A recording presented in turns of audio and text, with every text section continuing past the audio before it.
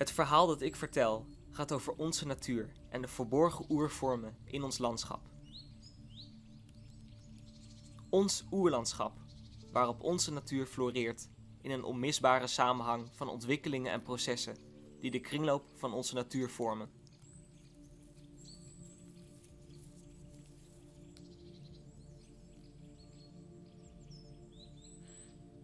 En waarom is ons landschap een oerlandschap? Het heeft vooral te maken met de geschiedenis en het ontstaan van ons land. Want ons landschap is door ijstijden gevormd.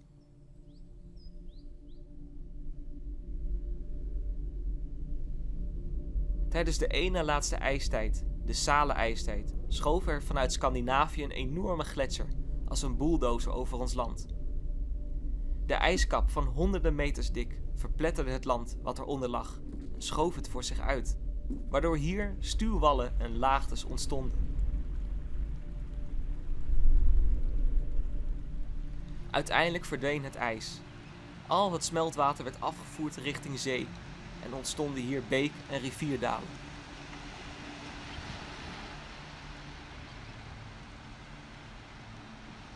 Voor een lange periode werd ons land blootgesteld aan de elementen, wind, ijs en water. Toen volgde de laatste ijstijd, de Weichsel-ijstijd. Dit was vooral de tijd waarin de grote zoogdieren leefden, zoals de mammoet en de wolharige neushoorn. Tijdens deze ijstijd bereikte de ijskap ons land niet. Koude stormachtige winden joegen het zand tot ver over de vlaktes. De dalen werden gedeeltelijk gevuld en de ruggen minder hoog. Zo'n 10.000 jaar geleden stegen de temperaturen en verdween ook een groot deel van Nederland weer onder water.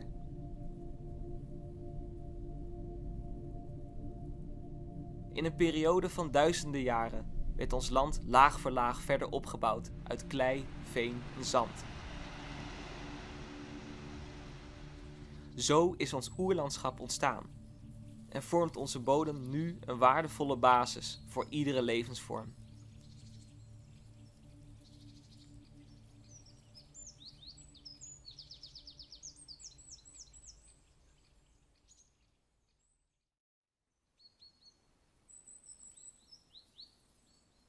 Tot op de dag van vandaag zijn er nog enkele kenmerkende sporen terug te vinden uit de ijstijden. Zoals heuvelruggen, gevormd door gletsjers, en beekdalen, gevormd door smeltwater.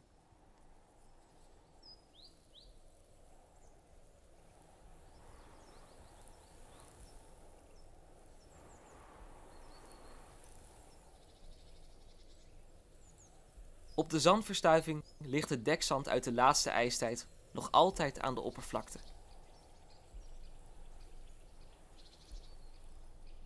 Doordat hier nauwelijks planten groeien, blijft het zand hier nog altijd in beweging.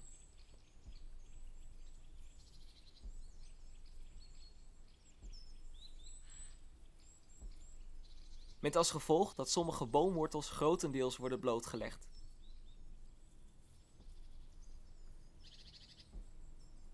En hier zijn de bomen grotendeels begraven.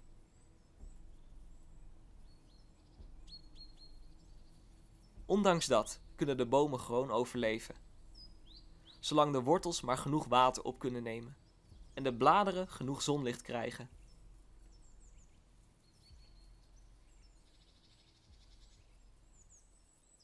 Er zijn nog meer bijzondere overblijfselen terug te vinden uit de laatste ijstijd.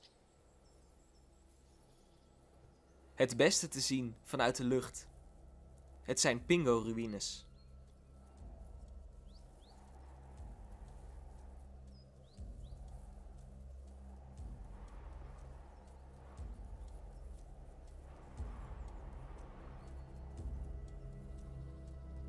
Ooit was het hier zo koud dat de bodem volledig bevroor. Daardoor hoopt het bevroren grondwater zich op tot ijsheuvels. Ook wel pingo's of ijslensen genoemd.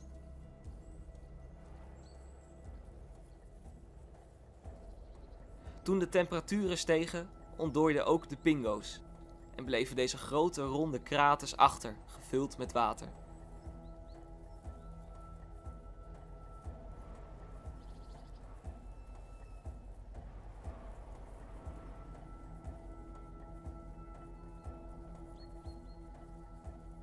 Deze pingo-ruïnes zijn op veel plekken teruggevonden in ons land.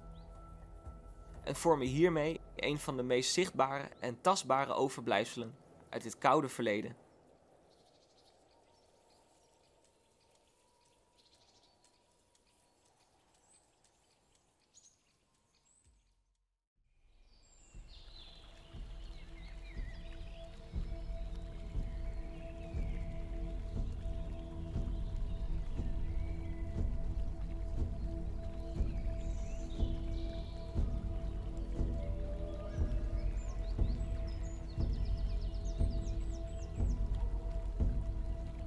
Water is een onmisbare levensbron voor de natuur.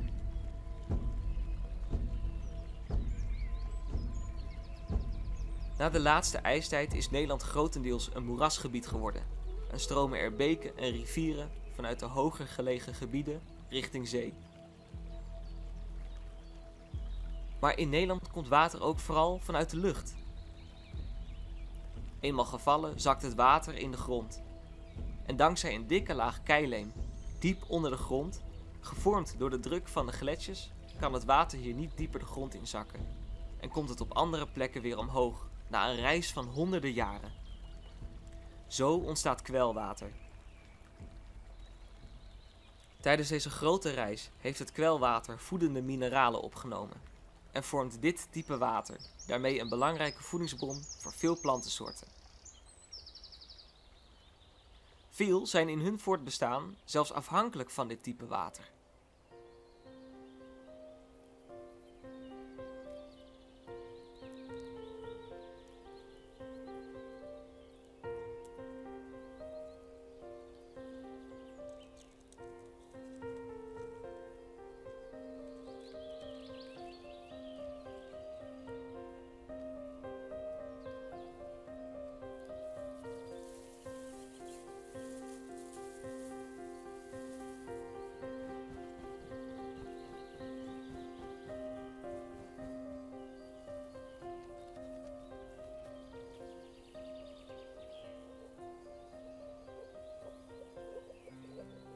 Naarmate de zon in kracht toeneemt, wordt de bodem en het water opgewarmd.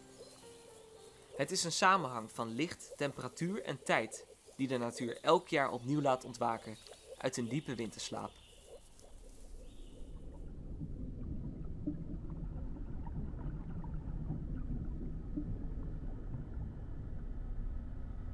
In de uitgewaaide en ondiepe delen van een pingo ontwikkelt zich nieuw leven uitgebroed door het licht en de warmte van de zon.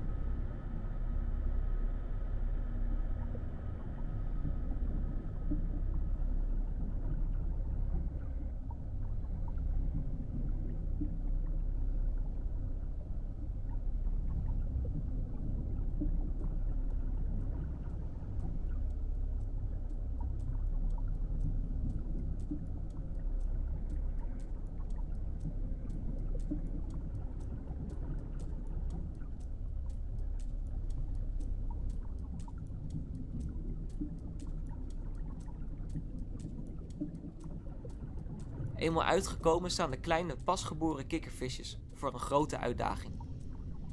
Overleven en de gedaanteverwisseling tot volwaardige kikker te volbrengen.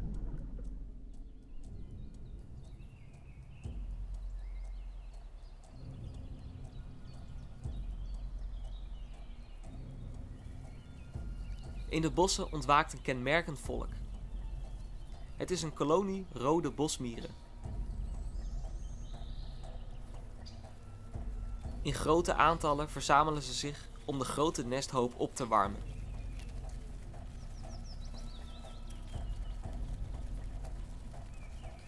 Ze moeten weer aan de slag. Een kolonie rode bosmieren heeft namelijk een belangrijke samenwerking met de natuur. Een grote kolonie verorbert wel honderdduizenden grote en kleine vaak schadelijke insecten en leveren ze een belangrijke bijdrage aan de kringloop van de natuur. Door materialen te verslepen en te verwerken.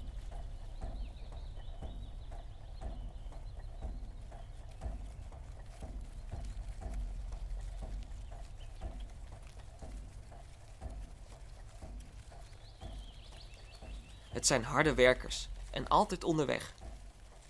Bij hun verzameltocht door het bos gebruiken ze vaste paden. Deze worden zo vaak belopen dat ze duidelijk zichtbaar zijn.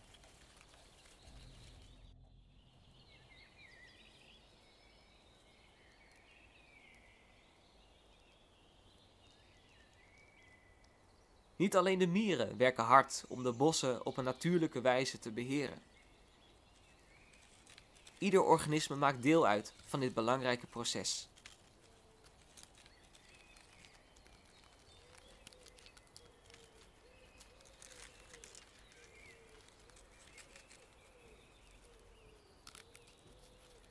Inmiddels zijn alle andere bodemdieren ook ontwaakt en worden er dubbele diensten gedraaid om de kringloop van het bos rond te houden.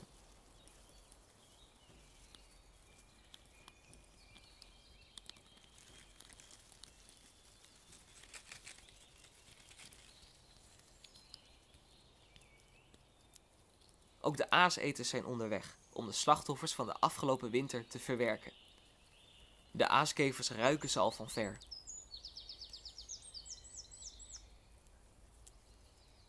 Al deze dode materialen worden weer op geheel natuurlijke wijze afgebroken.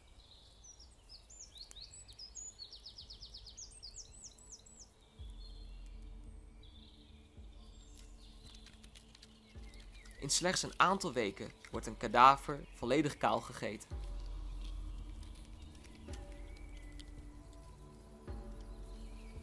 Waarna alleen de hardste delen overblijven.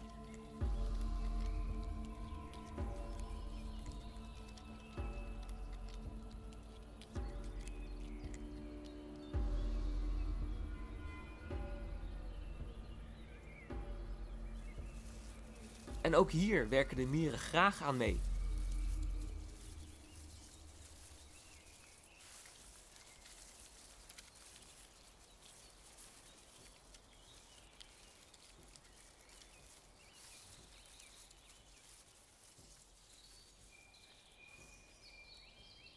Over samenwerkingen gesproken.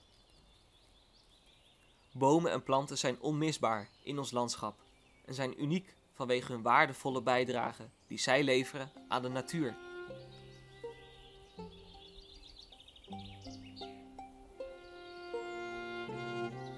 En omdat ze over de mogelijkheid beschikken om zelf hun eigen voedsel te maken, door middel van fotosynthese.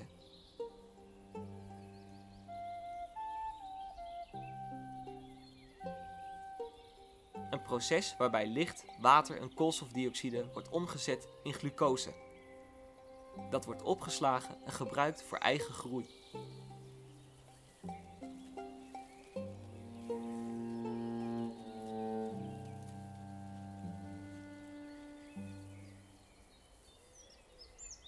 Bomen en planten zuiveren de lucht en geven daar zuurstof voor terug.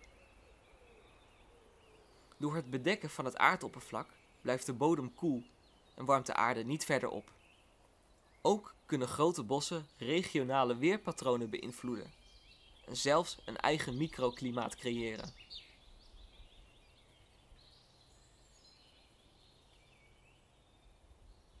Sommige bomen staan hier al meer dan 100 jaar en voor een aantal daarvan zit hun tijd erop. Want ook bomen hebben niet het eeuwige leven.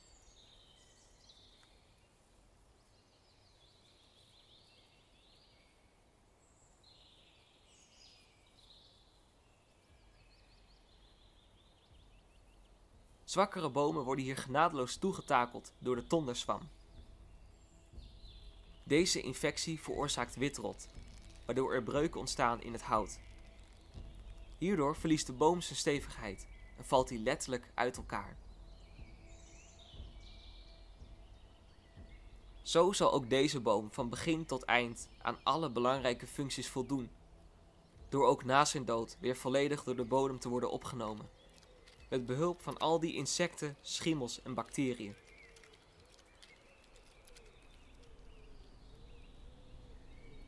Bij dit proces komen ook weer afvalstoffen vrij, die door de bodem worden opgenomen. Dit gehele proces van ontbinden en omzetten van dode materialen bevordert de vruchtbaarheid van de bodem, waardoor hier weer nieuwe planten en bomen kunnen groeien.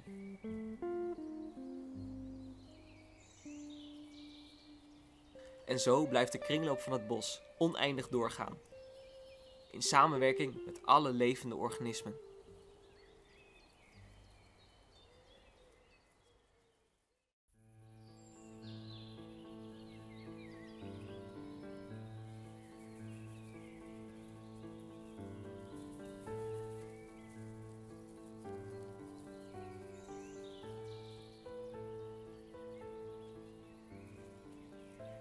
Elk bodemtype is bepalend voor het soort vegetatie dat erop groeit en welke dieren erop leven.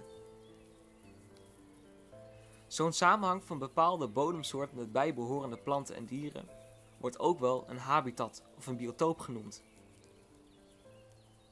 Sommige planten en dieren zijn juist erg zeldzaam vanwege een speciale relatie met een bepaalde bodemstructuur. Bijvoorbeeld de brede rietorgus die groeit alleen op schrale, voedselarme grond. En dan ook nog eens in symbiose met een bepaalde schimmel in de bodem. Dit laat meteen zien hoe kwetsbaar deze soort is.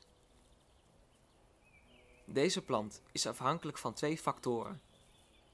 Als een van deze factoren wegvalt, kan deze mooie plant hier niet overleven.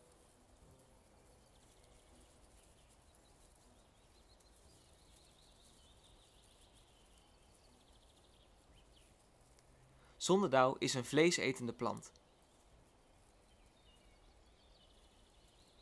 Met zijn kleverige tentakeltjes is het een ware insectenval.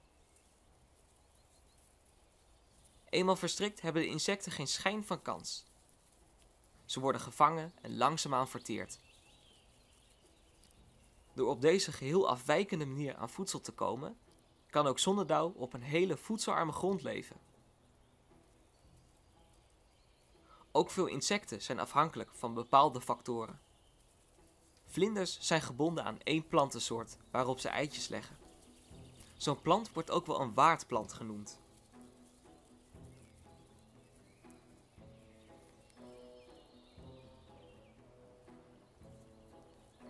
De naam heideblauwtje zegt al meteen iets over de soort, de waardplant en de leefomgeving van deze vlinder. In het hoogseizoen fladderen de vlindertjes hier vrolijk rond om op zoek te gaan naar een partner. Want ook dat is van groot belang in de natuur. De voortplanting. Ervoor zorgen dat de soort blijft voortbestaan. Op de heide vinden we nog meer interessante diersoorten. De levendbarende hagedis is hier een veel voorkomende soort omdat het koudbloedige reptielen zijn, hebben ze de zon nodig om hun lichaam op te warmen, om sneller te kunnen bewegen.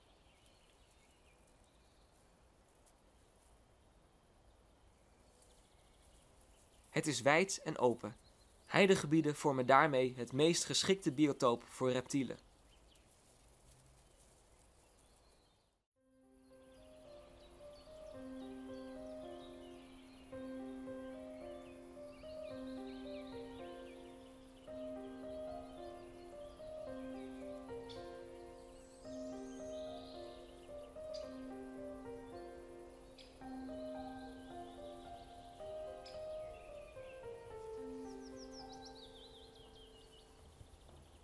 Zoveel dieren te onderscheiden en allemaal zijn ze uniek.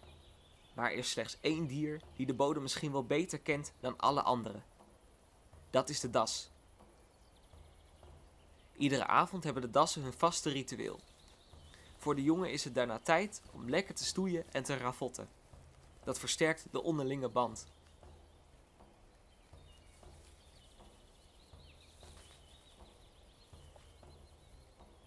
Ze leven in een burcht onder de grond.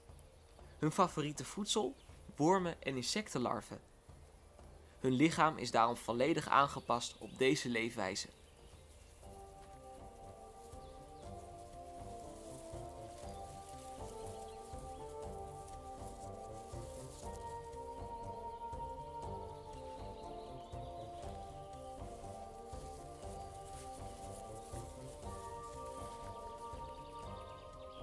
Dassen zijn zo schoon dat ze regelmatig hun slaapplek verschonen. Ze gebruiken droog gras en bladeren als verse ondergrond.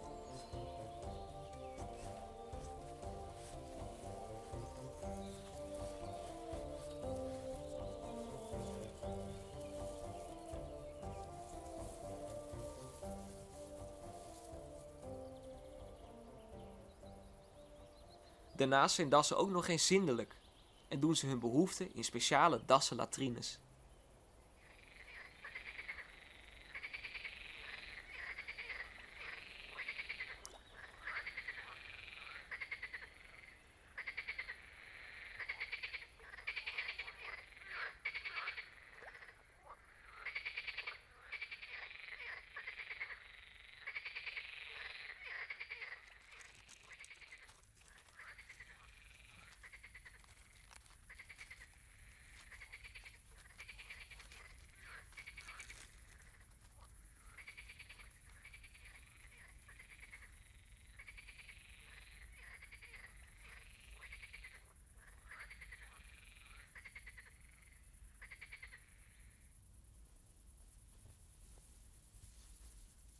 Pas als het echt donker begint te worden, verlaten de dassen de burcht om op zoek te gaan naar voedsel.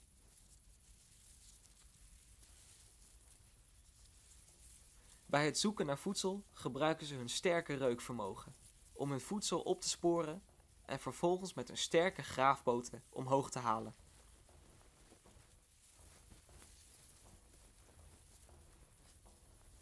Door gaten te woelen in de grond kunnen zaden makkelijker ontkiemen en zorgen ze daarmee voor meer soortenrijkdom in onze natuurgebieden.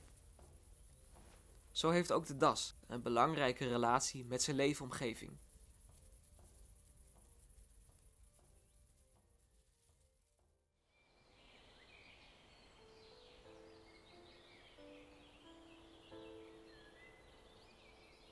Wat ik met mijn verhaal vooral wil bereiken is meer begrip en waardering voor onze prachtige natuurgebieden.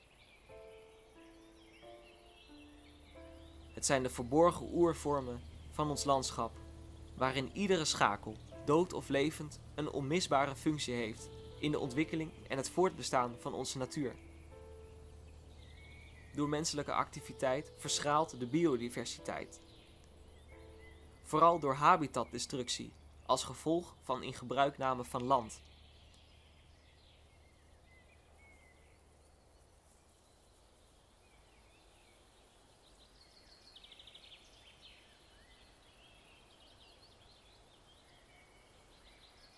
En om de natuur die we nog wel hebben beter te kunnen beschermen, is er meer begrip nodig. Om te kunnen zien wat er allemaal leeft en om te kunnen begrijpen wat onze natuur nodig heeft. Zoals rust, ruimte en waardering. Want uiteindelijk is de natuur ook belangrijk voor onszelf. Denk aan schone lucht van de bomen. Meer bossen voor het afkoelen van onze bodem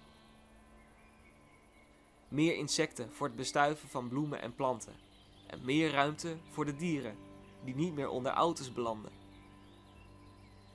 Maar ook als toevluchtsoord om zelf te kunnen genieten van de rust en de ruimte die je er kan vinden.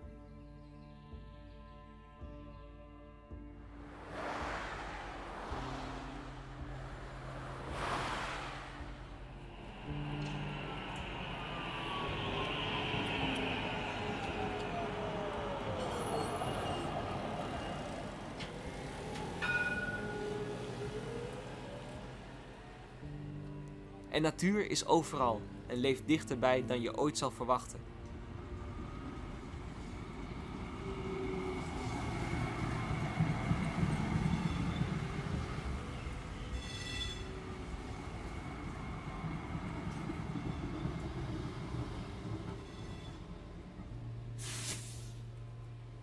Ook waar wij wonen leven dieren die zich weten aan te passen.